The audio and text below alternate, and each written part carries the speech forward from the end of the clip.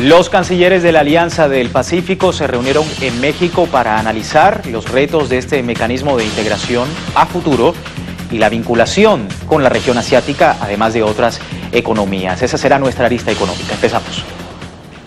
Ministros de Relaciones Exteriores de Chile, Colombia, México y Perú, los países miembros de la Alianza Pacífico, revisaron en México los preparativos de la cumbre del mecanismo programada para el próximo 10 de febrero en la ciudad colombiana de Cartagena. México recibirá de manos de Colombia la presidencia pro tempore de la Alianza del Pacífico en el primer cuatrimestre del año próximo y será sede de la siguiente cumbre del mecanismo hacia mayo del 2015. Entre los retos que enfrenta el mecanismo a futuro destacan la vinculación con Asia y otras regiones, aunado a temas como el desarrollo de infraestructura y el impulso a pequeñas y medianas empresas. Varios países, como Costa Rica, Guatemala y Panamá, han expresado deseos de integrarse al bloque, constituido formalmente en Chile el 6 de junio del 2012. Vamos a profundizar sobre este tema. Tenemos un reporte de nuestro compañero en México, Eduardo Martínez, quien estuvo presente en la reunión de cancilleres de los países de la Alianza Pacífico. Los cancilleres de la Alianza del Pacífico se reunieron en la capital mexicana para analizar los trabajos sobre la reunión de jefes de Estado que tendrá lugar en Cartagena de Indias, Colombia, el próximo mes de febrero. Allí asistirán los presidentes de Chile, México, Perú y Colombia.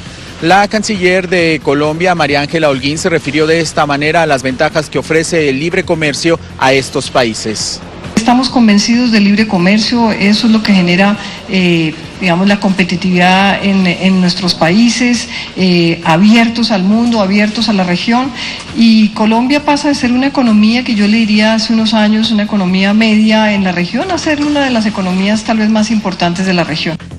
Por su parte, el ministro de Relaciones Exteriores chileno, Alfredo Moreno, se refirió de esta manera a que la Alianza del Pacífico no pretende competir con los mecanismos de integración que han sido promovidos desde el sur del continente, como la Alianza Bolivariana para los Pueblos de Nuestra América, el ALBA.